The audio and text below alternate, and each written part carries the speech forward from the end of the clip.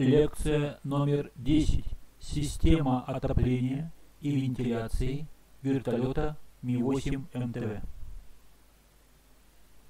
Система отопления и вентиляции обеспечивает подачу подогретого или атмосферного воздуха в кабину экипажа и в грузовую кабину для поддержания в них нормальных температурных условий.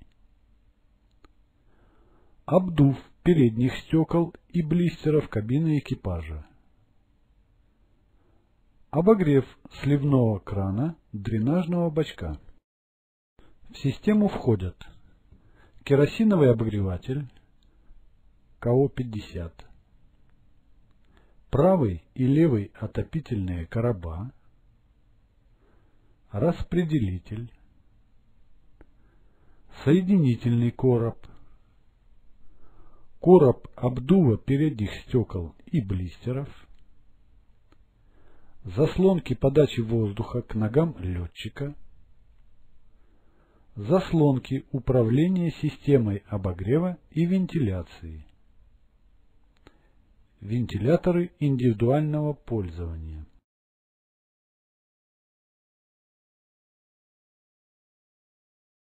Керосиновый обогреватель КО-50 предназначен для подогрева воздуха, поступающего в кабины вертолета. Основные технические данные. Номинальная теплопроизводительность 50 тысяч килокалорий в час. Расход топлива не более 8,7 кг в час. Потребляемая электрическая мощность 2,5 кВт. Высотность до 5000 метров. Масса обогревателя 47,5 кг. В цепи электропитания обогревателя установлено реле, которое разрывает цепь питания обогревателя при возникновении пожара в отсеке КО-50. Работа обогревателя заключается в следующем. В камере сгорания обогревателя после запуска происходит процесс горения керосиново-воздушной смеси.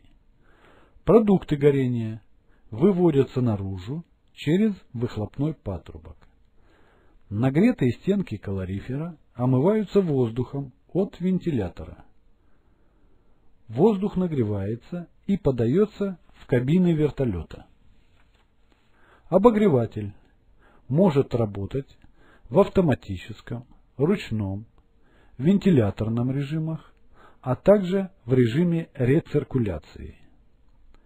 При работе обогревателя в автоматическом режиме температура воздуха поддерживается постоянной в зависимости от положения задатчика температуры. В ручном режиме теплопроизводительность обогревателя регулируется переключателем режимы. Положение заливка используется при проверке герметичности топливных магистралей обогревателя. Работа системы в вентиляторном режиме обеспечивает охлаждение обогревателя и вентиляцию кабин вертолета через короба в теплое время года. Режим рециркуляции служит для ускорения прогрева кабин в зимних условиях забором воздуха из грузовой кабины. Включение обогревателя. КО-50 рекомендуется включать следующим образом. На Земле при температуре наружного воздуха от плюс 5 градусов Цельсия и ниже. В воздухе при работающих двигателях на любом режиме полета. При аварийных посадках перед приземлением обогреватель необходимо выключить. Пуск обогревателя в режиме обогрева с автоматическим регулированием температуры производится следующей последовательностью. Установить заслонку воздухозаборника при запуске на Земле в открытое положение, при запуске в полете в закрытое. Включить АЗС КО-50. За датчиком температуры установить 30 градусов по Цельсию. Переключатель ручной автомат установить в положение автомат. Нажать кнопку «Запуск КО-50». Должно загореться табло «Подогреватель», что означает начало подогрева топлива. При достижении температуры топлива 70 плюс-минус 5 градусов по Цельсию табло «Подогреватель» гаснет и загорается табло зажигания, сигнализирующее о включении в работу пусковой свечи. И табло КО-50 работает, сигнализирующее о запуске обогревателя. Через 30 секунд при отрицательных температурах наружного воздуха через время не более двух минут гаснет табло зажигания, что означает стабилизацию процесса горения топлива в обогревателе. Для пуска обогревателя в режиме обогрева с ручным регулированием температуры переключатель ручной автомат установить в положение ручной. Переключатель заливка полный режим, средний режим на время пуска в положение полный режим. В остальном процесс запуска аналогичен автоматическому режиму. После пуска обогревателя для уменьшения температуры воздуха, подаваемого в кабины, переключатель заливка полный режим, средний режим установить в положение средний режим.